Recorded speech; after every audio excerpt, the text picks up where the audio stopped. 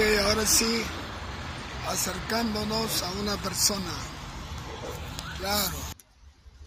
¿Cómo? Ya, ya. No, me portaba mal porque quería, quería, quería mejorar y explicarle por qué me portaba mal, para que me perdone. Claro, entonces ahora vamos a pedirle a a Jesús perdón para que ores. A ver, Señor Jesús, perdóname por haberme portado mal. Señor, yo creo que, he pecado contra ti y te acepto como mi Señor, como mi Salvador personal. Ayúdame, ten misericordia de mí, en el nombre de Jesús. Amén.